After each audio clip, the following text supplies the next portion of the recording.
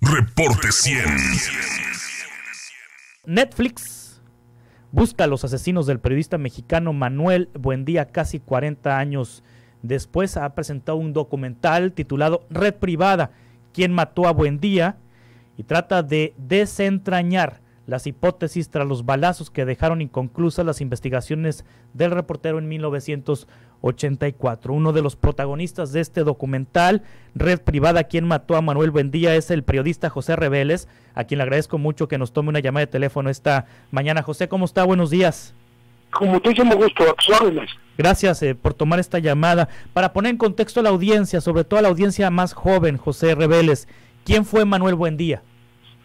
Manuel Buendía es un periodista que se distinguió por eh, ser uno de los iniciadores de esto que llaman el periodismo de investigación, con documentos, con datos precisos, con indagaciones personales, con filtración de información que era privilegiada y que eh, hacía una columna que se llamaba Red Privada. Antes esa columna se llamó Para Control de Usted en el periódico El Día. Y eh, hacía revelaciones muy fuertes respecto de los grupos de la ultraderecha en México, respecto de la CIA, respecto de eh, eh, sindicatos corruptos y finalmente ya en los, las últimas semanas de su vida eh, se puso a investigar cómo había una transferencia, vamos a decir, de funcionarios del régimen del gobierno de entonces de Miguel de la Madrid, eh, con Manuel Bacle como secretario de Gobernación, eh, infiltrados en el narco. De hecho, estaban manejando ya a, dos manos, por un lado como desde el gobierno por otro lado desde la delincuencia organizada, el tráfico de drogas. Entonces es un asesinato muy relevante porque ocurre en una época en que México dio un salto cualitativo eh, en el tráfico de drogas, en su conexión internacional, en, temas muy muy delicados, porque a buen día lo matan el 30 de mayo de 1984. Él estaba revelando esto que te menciono, por eso Miguel Ángel Granados Chapa, que fue su colaborador y su amigo, escribió un libro póstumo que, dice que el asesinato de Buendía fue el primer crimen de la narcopolítica mexicana. Sí. Sí, eh, porque estaban involucrados estos poderes prácticos que estaban también este, metidos, incrustados dentro de los gobiernos. Sí. Después de, de la muerte de Buendía, que es mayo de 1984, ese mismo año se descubre el rancho El Búfalo, que era un lugar en donde se producía droga para ser vendida en el exterior, para que Estados Unidos recogiera esas ganancias y las metiera como ayuda a la contra nicaragüense. O sea, una, una jugada de muchas bandas, ¿no? Y eh, a los pocos meses más, o sea, en, en febrero del 85, ya estamos hablando de secuestro, tortura y asesinato del agente de la DEA, Enrique Camarena Salazar. ¿Sí? Entonces estamos eh, en un parteaguas de, de la historia del narcotráfico y de la criminalidad organizada en México, en el que Buen Día tuvo un papel preponderante como denunciante. Y de hecho el autor mm, que se señaló como autor intelectual de su muerte, José Antonio Zorrilla era el director de la, General de Seguridad, muy cercano al entonces secretario de Gobernación, Manuel Vázquez. Esto, esto es lo que recrea la serie, pero es un caso que sigue cerrado, porque por ahí hubo una persona, el Chocorrol, acusado de, haber disparado físicamente y después lo mataron. Sí. Para borrar todo tipo de huellas. Eh, Moro Ávila, un actor músico, sí estuvo en la cárcel y está libre, pero siempre ha eh, negado haber disparado él. Entonces, eh, hablamos de un crimen sin solución todavía. Sí, Zorrilla, José Antonio Zorrilla, eh, ¿él sabe lo que pasó y no lo ha dicho? Yo creo que Zorrilla es uno de estos personajes que a los que atrapa la famosa Mertá la ley del silencio, que se estilaba sobre todo en los regímenes priistas, eh, del autoritarismo total en este país, donde no se puede mm, abrir la boca porque si abres la boca te mueres. Entonces me parece que, que Zorrilla está atrapado en ese círculo de silencio obligado y que no puede ir más allá. Sí, ¿qué edad tiene Zorrilla en, este momento, José Reveles? Mm, su edad no la sé, lo que sé es que estuvo más de más de 20 años sometido a prisión, primero formal, luego domiciliaria. Sí. Eh, y eh, él, eh, de alguna manera, este, fue el, el, enlace, la bisagra entre este poder estatal, poder gubernamental, de las policías y del espionaje, que era la Dirección Federal de Seguridad, fue el último director, ahí se acabó la federal. Fue tan grave el asunto que cerraron la Federal de Seguridad, ¿no? Sí. Este, que enlazó, fue la bisagra, decía yo, entre este poder del Estado y el poder del narco. Eh, él llegó a decir que, que la DFS, si lo dejaban ahí al frente, no necesitaba presupuesto del gobierno, que ella podía mantenerse por sí misma. Es decir, tenía suficientes recursos para operar por sí misma, lo cual era un absurdo, ¿no? Porque tú no puedes tener una dependencia oficial con dinero privado de dudosísima, más bien de, sin duda, procedencia ilícita. Sí, José Antonio Zorrilla salió de prisión en 2013 y, está, y, fue a prisión domiciliaria eh, por el asesinato de eh, por el asesinato del periodista Manuel Manuel Buendía. Y, y, estaría todavía en la posibilidad él de decir lo que sabe pero no lo ha hecho y está en este en este silencio. Este debe debe ser un hombre de 70 80 años de edad o quizá más verdad yo creo que ella no va a hablar.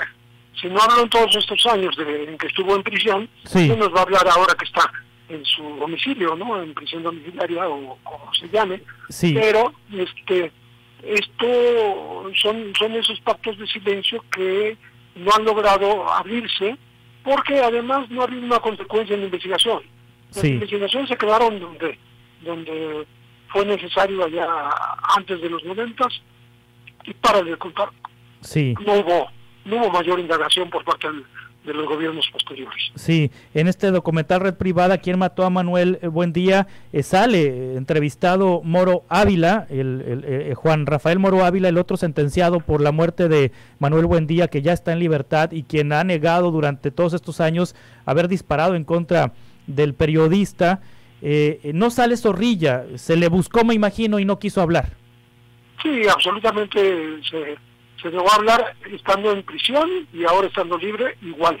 ¿Por qué? Porque está atrapado, te repito, en ese en ese pacto en donde no solo se se involucró o se quiso involucrar en las investigaciones, eh, el grupo de periodistas, el grupo de pares que estuvo investigando, llegó a tocar hasta Manuel Bartlett, el propio Iván Chapa, eh, le hace una, una entrevista que, que responde por escrito pero no, no llega a, mayores. Y en esa época hay que recordar que Buen Día publicó mm, también, tenía los datos que publicó Jack Anderson en, Estados Unidos, el periodista, el columnista Jack Anderson, acerca de un presunto depósito de por lo menos 100 millones de dólares por parte de quien era entonces presidente de la República, eh, Miguel de la Madrid Hurtado. Sí. O sea, hasta ahí puede llegar el asunto y por eso no, no se ha abierto, vamos a decir, este no se ha abierto del todo la investigación. Manuel Bartlett es parte de este pacto de silencio. Pues yo creo que sí. Eh, simplemente el hecho de que no lograron meterlo en la serie, a pesar de las solicitudes de entrevista, quiere decir que no no quiere que le remuevan en absoluto nada del pasado, ¿no? Está instalado hoy en su puesto y, y no quiere que se sepa nada de lo que hizo antes. Él sabe lo que pasó entonces, así como Zorrilla. Yo creo que debe saberlo. Sí. Eh, debe tener eh, certezas de, qué fue lo que pasó. Sobre todo, eh, Buen Día, la, la, verdad es que Buen Día tocó temas todos muy escabrosos y eso impidió que se centrara muy bien la investigación porque él atacaba, repito, a la ultraderecha mexicana, a, la DEA, a la CIA, a, maniobras este, corruptas de sindicatos, etcétera, etcétera, y mm, era un abanico muy grande de enemigos que pudo haber tenido.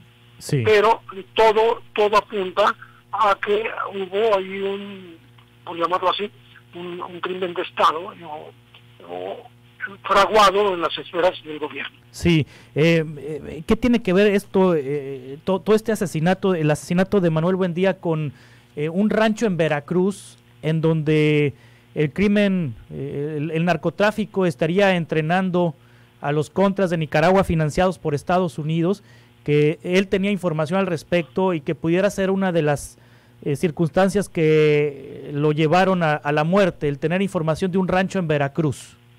Sí, absolutamente, eh, hablando de este trasiego de armas, en el que México era activísimo, porque hay que recordar que no solo estaba el rancho Búfalo, productor de, marihuana a gran escala, una agroindustria, para obtener dinero que eh, el coronel Oliver North de los Estados Unidos canalizaba ilegalmente a la contra nicaragüense.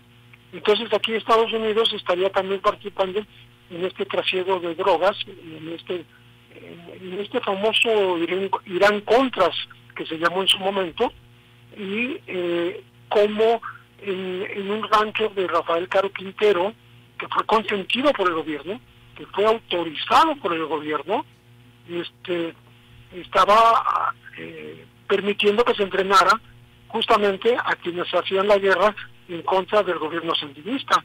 Entonces, México como, como gobierno fue muy permisivo en esas épocas, ¿no? Y eran cosas que estaban descubriendo buen día. Y por eso era objeto de, esta, pues fue objeto, de este atentado que le llevó a, la muerte. una serie de disparos levantándole la gabardina y, dados en la espalda, ¿no? Sí. a traición totalmente, saliendo de su oficina. Hay un historiador en, en, Twitter que se llama Adela Cedillo, eh, José Reveles, que dice, eh, ha publicado varios hilos acerca de este documental y dice, este es mi tercer y último hilo sobre Manuel Buendía Red Privada. Es fácil asumir que Manuel Bartlett sabe perfectamente quién lo mató. Yo diría que no solo Bartlett, sino otros que salen en el documental y se hacen el tío Lolo, Carrillo Lea, Coello Trejo, Morales Lechuga. Lo cierto es que si Buendía descubrió no solo lo del rancho en Veracruz, sino lo de las narcopistas, toda la clase política salía embarrada. El asesinato de Buendía podría ser el gran secreto que hermana a los gobernadores que participaron en la triangulación de la cocaína. La DFS solo fue el brazo ejecutor de una red de complicidad encabezada por la CIA que necesitaba asegurarse de que la información de que la México contra Connection nunca sería revelada. Es, es lo que dice Adela. Nunca, se hubiera sabido, pero pues, siempre las cosas llegan a trascender, ¿no? Sí. Y qué bueno que mencionas la cocaína, porque justamente es la época en que hace, vamos a decir, se hace el boom de la cocaína. México no es productor de, este, de esta droga, sí. nunca lo ha sido, pero empezó a recibir todos los cargamentos desde Sudamérica y, estaban involucrados gente del gobierno, los mismos represores de la llamada guerra sucia en México, de la Dirección Federal de Seguridad, se convirtieron en los capos del narcotráfico. Eso es lo que estaba descubriendo hoy día, ese salto mortal entre entre servidor público y delincuente organizado. Sí. es una, una hermandad, una, eh, muy perversa, ¿no? Que se estaba dando justamente en esa coyuntura del país. Y por eso creo que es relevante para las nuevas generaciones saber qué pasó con este periodista, que logró eh, armar los hilos, la, madeja que le permitiera eh, con el tiempo ir eh, desentrañándola. Pero ya no hubo tiempo porque tuvieron que liquidarlo para que ya no prosiguiera con esas investigaciones. Sí. Manuel Buendía tiene, tiene descendencia. Sí, está eh, su esposa Dolores, creo que vive, su, hermano. Eh, Una mujer muy valiente la esposa, ¿no? Ahí la vimos en el documental, las imágenes de los ochentas. Una mujer muy echada para adelante. Sí, un hermano José, que acudía mucho ahí a la fundación, exactamente la fundación Manuel Buendía. Sí. Y, y llegó a, a escribir su propia historia pero los familiares pues no tienen la, la, facilidad para decir el culpable fue fulano cetano con datos fidedignos, eh, comprobables, eh, digamos, sin temor a equivocarse. Pero siempre han sostenido que fue un crimen de Estado. ¿Usted piensa lo mismo, José Reveles? Yo creo que sí hubo condiciones para que eso ocurriera. Si ahora Andrés Manuel está, el presidente de la República, Andrés Manuel López Obrador, está hablando de que hubo épocas en el país en donde eh, lo que estaba en el poder era, un narcogobierno, hablando justamente de los últimos regímenes y particularmente el de, el de Felipe Calderón, pues yo creo que en esa época eh, existía eso mismo, ¿no? Este, eh, empezaba a existir esos narcogobiernos en donde era difícil eh, distinguir la línea divisoria entre el gobierno y delincuencia. Particularmente eh, esa bisagra que se llamó José, José Antonio Zorrilla Pérez. ¿Hubo algún otro periodista después de Manuel Buendía que siguiera el hilo de lo que él había descubierto? Es decir, alguien en el periodismo mexicano eh, sustituyó el papel que estaba desempeñando Buendía. Bueno, como investigador, como revelador de secretos y todo, pues estaba el columnista Miguel Ángel Granado Chapa, que es su amigo y, su discípulo también, pero eh, digamos que en el nivel de los temas que Buendía abordaba, eh, pues eh, no, no, no ha habido, vamos a decir, un columnista.